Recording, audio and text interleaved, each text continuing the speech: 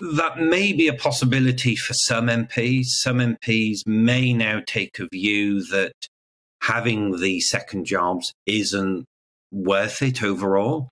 Um, for some, the the the figures that they're getting for this are relatively small, um, but there are a small core of MPs, maybe 20 or 30, that are earning some considerable sums of money from these consultancy roles.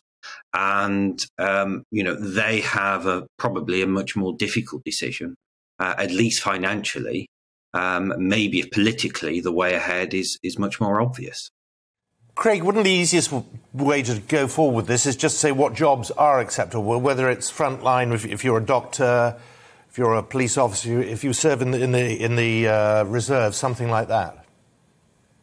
Um, there's always the risk that an MP will come along, um, elected at a later election, who does something that isn't on that list that everyone thinks that's that's okay. So um, I, I, there might be a point of having an indicative list of uh, acceptable second jobs, um, things in the public sector, as you say, sort of uh, people with links to the armed forces or whatever it might be.